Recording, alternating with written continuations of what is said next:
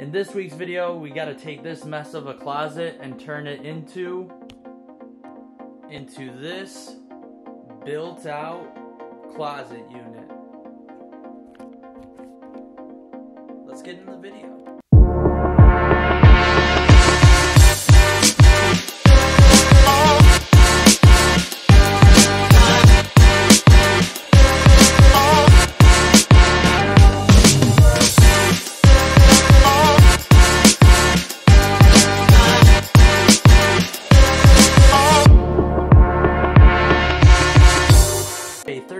Inch wide closet. It's gonna be 20 in, 28 inches deep, and we're gonna make this 84 inches tall. All right, so here we go. We have the plans drawn out. I know what you're thinking. How am I able to just make it look so realistic on paper? And I don't know, it's just talent. Anyways, what we're doing 14 inches deep, 18 inches wide, 84 inches tall, aka 7 feet for you math guys at home. Next, we are going to have a 30 inch section at the bottom here for a milk crate that'll be on a rolling cart. That's where I store my important files. We're going to have 15 inches of space right here for three drawers. And then we're going to do an 18 inch storage space right here and 21 inches to the top um, of our closet height where there will be a top shelf right there all along the closet for extra storage space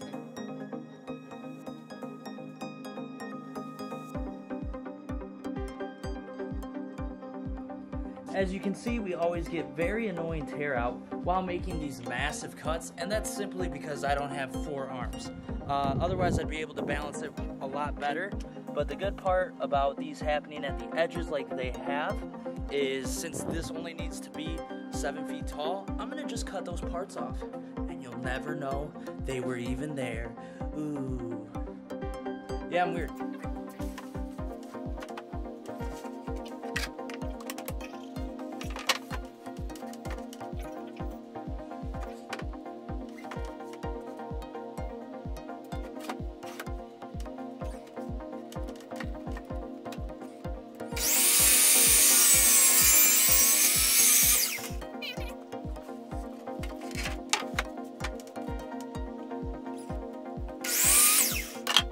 All right, now that we went full super pro on getting these to seven feet tall, I'm going to use my handy dandy uh, tape measure, pencil, straight edge, and I'm gonna measure out the 30 inch mark, the 15 inch mark and such, all the way up everywhere. Um, if you ever do something like this, make sure you account for your uh, material thickness. For example, my first shelf is gonna start at 30 inches up. However, it won't end at 30 inches up, it'll end at 30 and 3 quarters of an inch. So if I want a 15 inch gap, I gotta take 30 and 3 quarter inch and add 15 to go to 45 and 3 quarter inches versus going 30 inches and 45 inches and such. So, little helpful tip, and let's get started on this. Alright, we have all of our lines marked off for our shelves now. And the next thing we need to do is actually cut said shelves. They're gonna obviously be 14 inches in depth as well. And they're gonna be 16 and a half inches wide. Yes, that's what the drawing says. Also, before I forget, uh, I went off the factory edge for my bottom pieces. These will be the, this is gonna be the bottom of the unit. And I made sure that to use the factory edge because it'll probably be the straightest cut possible, especially since we had to get squirrely, as John Malecki always says, on these top pieces. So, let's cut some shelves. So now we have our three shelves all cut up, but before I'm gonna install these with pocket holes, I need to create a nice little diagonal because I want the top shelf to only be 12 inches deep because I don't want this to look so boxy. Um, if it's confusing now, it'll make sense later because that's how it usually goes. Anyways, I'm gonna draw up that little line and cut that diagonal in. And as I said, here's my diagonal line, 12 inches deep at the top, right to the first shelf. I feel like it'll make it look a little bit more modern. It won't look so boxy, especially since we're gonna have a top shelf on this part anyway. So there are my lines. Let's get these all cut off, cut up, and then we're gonna put some pocket holes and assemble the carcass all together.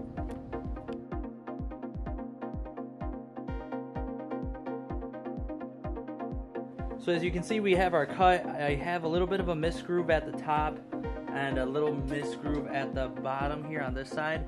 Kind of bummed. Whoops. Kind of bummed, but these things happen. We're gonna hide it, so That's the perks of woodworking. The next thing we need to do is take our shelves right over here and get the pocket holding these and get our bottom one and our top one in place because we got to get our drawer slides situated before we put in our middle shelf. So let's do some pocket holes.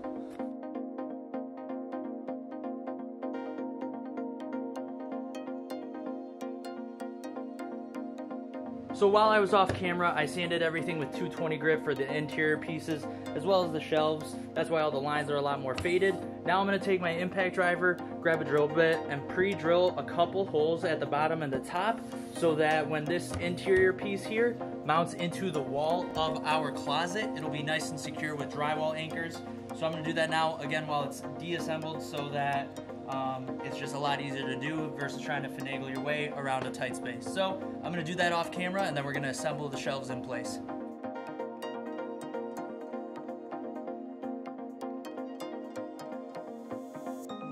So for whatever reason, our pocket hole screws are just blasting out through the side of our shell.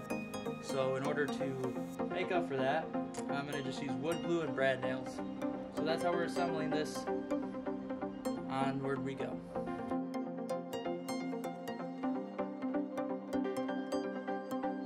Alright, third time's the charm. Pops had a good idea. We are going to use some flat, focus, some trim head, some flat trim head screws, um, and we are going to secure this. I pre-drilled all the holes within the um, markings of the shelves. That way I knew where to drill in on the outside part. Um, so we're going to get this assembled.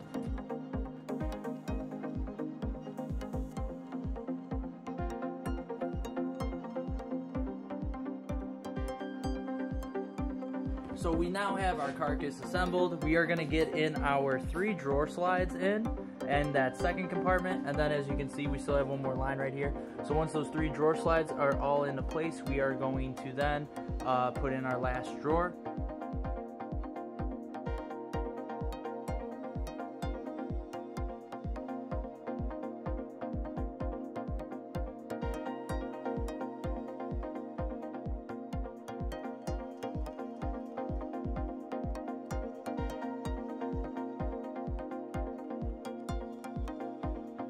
Now that we have our drawer slides in, the next thing we need to do is get in our third shelf right here, and then it'll be time to make some drawer boxes.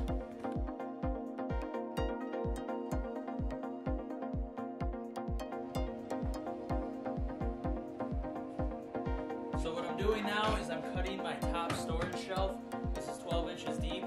That way I can use the excess material as my drawer boxes for our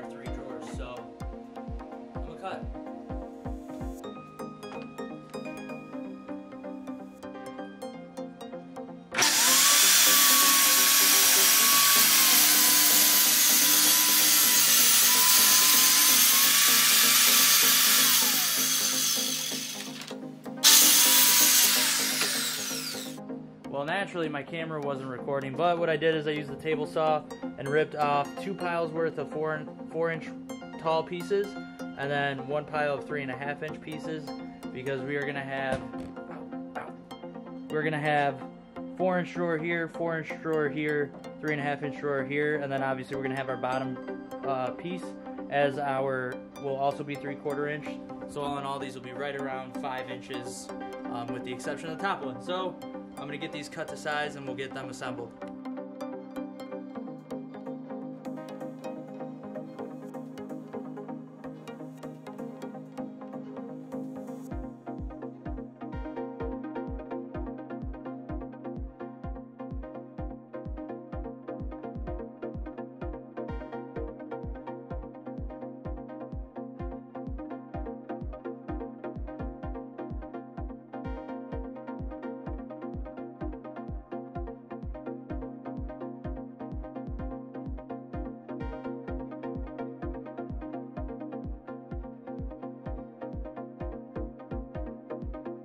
So drawer box one is done.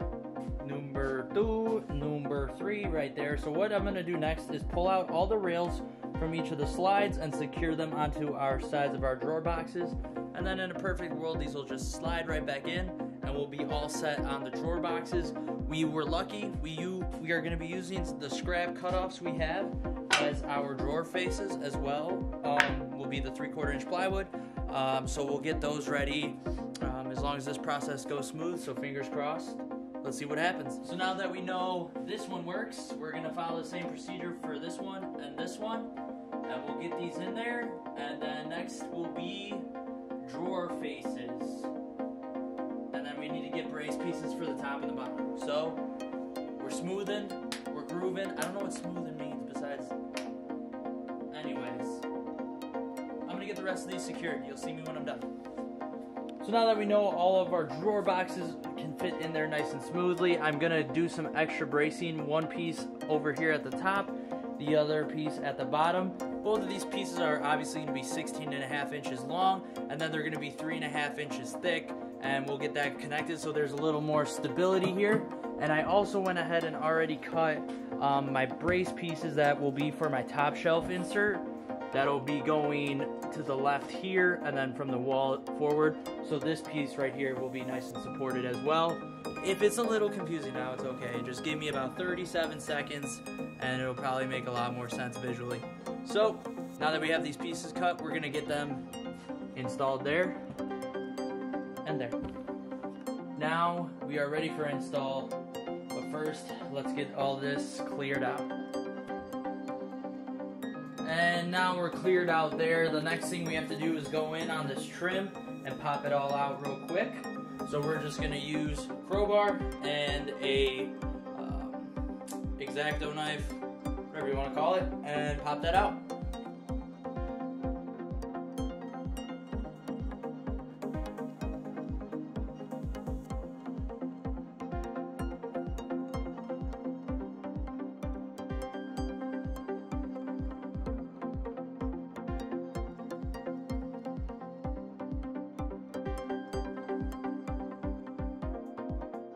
So after a lot of pain and heartache, we finally got this bad boy in.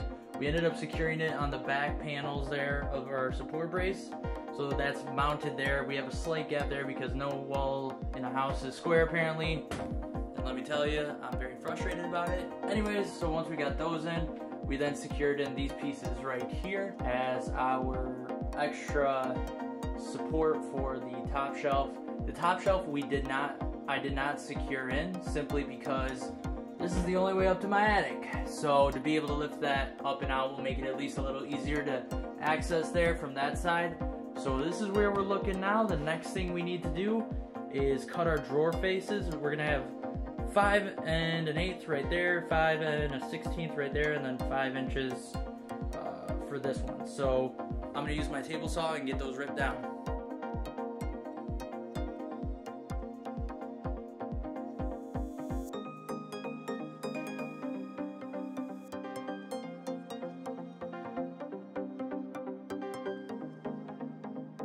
Installed.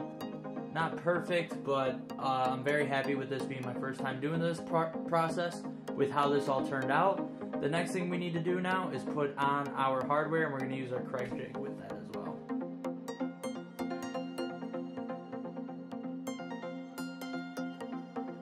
So here we are. We got our drawer slides in now. Makes our lives so much easier. Nice little soft close right there.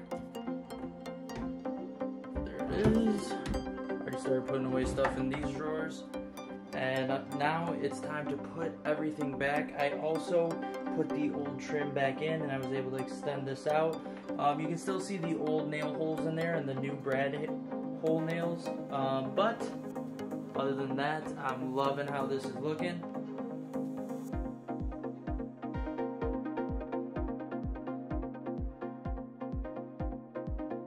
Just like that, this closet is complete.